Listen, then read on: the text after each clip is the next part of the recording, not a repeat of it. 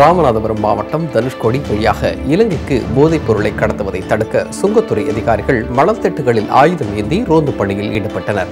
தமிழகத்திலிருந்து இலங்கைக்கு கஞ்சா கொக்கேன் உள்ளிட்ட போதைப் பொருட்களும் சமையல் மஞ்சள் கடல் அட்டை கடல் குதிரை உள்ளிட்டவைகள் கடத்தப்படுவதாக கிடைத்த தகவலை அடுத்து இந்திய இலங்கை சர்வதேச கடல் எல்லையில் கண்காணிப்பு தீவிரப்படுத்தப்பட்டுள்ளது.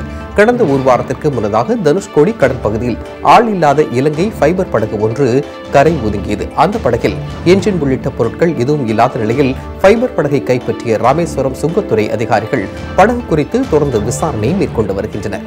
இந்த நிலையில் இலங்கை ஃபைபர் படகில் இருந்து காணாமல் போன என்ஜின் மணலில் புதைத்து வைக்கப்பட்டுள்ளதா என்பது குறித்தும் மணல் திட்டங்களை தோண்டி சுங்கத்துறை அதிகாரிகள் தீவிர சோதனை மேற்கொண்டனர்.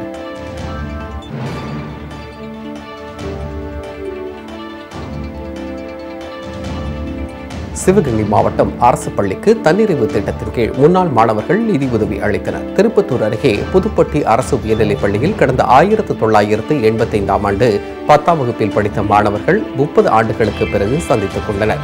பின்னர் அரசு உயர்நிலைப் பள்ளியில் தன்னிறைவு திட்டத்தின் மூலம் பள்ளிகளுக்கு தேவையான கணிப்பொறி இயந்திரம் ஜெராக்ஸ் இயந்திரம் கண்காணிப்பு கேமரா ப்ரொஜெக்டர் உள்ளிட்டவைகள் வாங்குவதற்காக முன்னாள் மாணவர்களின் பங்களிப்பாக ஒரு லட்சத்து எட்டாயிரத்து ஐநூறு ரூபாய் வழங்கப்பட்டது. மேலும் தாங்கள் படித்த ஆசிரியர்கள் பற்றியும் படித்த பருவங்கள் பற்றியும் நினைவுகளை பகிர்ந்து கொண்டனர்.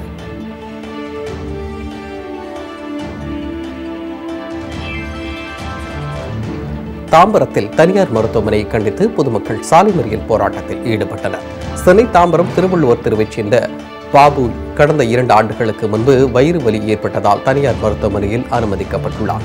பாபுவிற்கு மருத்துவமனையில் சிகிச்சை அளித்து வந்த நிலையில் வயிற்றில் அறுவை சிகிச்சை செய்ய பதினைந்து லட்சம் ரூபாய் செலவாகும் என உறவினர்களிடம் மருத்துவர் தெரிவித்துள்ளார்.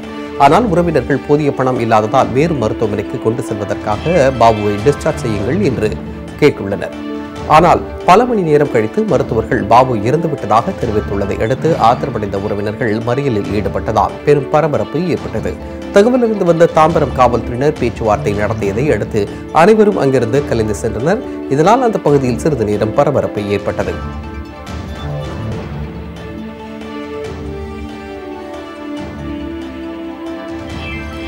தஞ்சை மாவட்டம் திருவையாற்றில் எழுபத்து நான்காவது சர்வோதயா மேளம் சார்பில் காந்தியடிகள் அஸ்தி கரைக்கப்பட்ட நினைவு நாள் அனுசரிக்கப்பட்டது. சர்வோதய சங்கம் சார்பில் அண்ணல் காந்தியடிகளின் அஸ்தி கரைக்கப்பட்ட நினைவு நாள் ஆண்டுதோறும் சர்வதேச பருவமாக கொண்டாடப்பட்டு வருகிறது.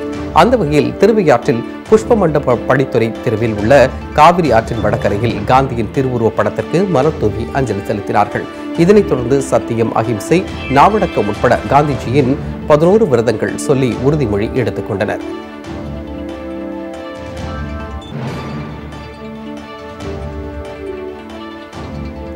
கடலூர் மாவட்டம் விருதாச்சலம் நகராட்சியில் வாக்குச்சாவடி சீட்டு கொடுக்கும் பணி தீவிரமாக நடைபெற்று வருகிறது.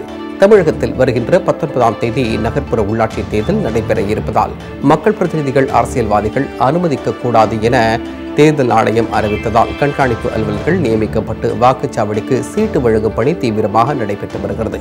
இந்த நிலையில் விருதாச்சலம் நகராட்சி ஆணையாளர் ஜெயபிரகாஷ் நாராயணன் வாக்காளர்களுக்கு வாக்கு செலுத்தும் சீட்டை வீடு வீடாக சென்று வாக்காளர்களிடம் நேரடியாக வழங்கினார்.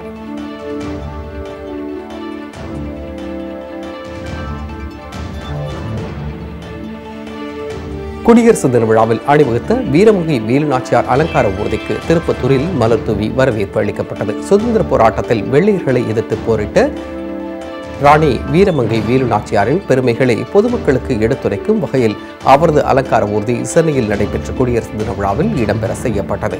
அதன் பின்னர் அந்த ஊர்தி தமிழகம் முழுவதும் சென்று காட்சிப்படுத்த தமிழக அரசு நடவடிக்கை மேற்கொண்டது. அதன்படி கிருஷ்ணகிரி மாவட்டத்திலிருந்து புறப்பட்ட வீரமங்கை வேலு நாச்சியார் அலங்கார ஊர்தி திருப்பத்தூர் மாவட்ட எல்லையான நாட்டான்பள்ளியை அடுத்த லட்சுமிபுரம் பகுதிக்கு வந்தடைந்தது. அந்த ஊர்தியை திருப்பத்தூர் மாவட்ட ஆட்சியர் அமர் குஷ்வஹா காவல்துறை ஆணையாளர் திரு பாலகிருஷ்ணன் ஆகியோர் தலைமையில் மலர்தூவி பாரம்பரிய மகளிர் நடனத்துடன் வரவேற்பு அளிக்கப்பட்டது.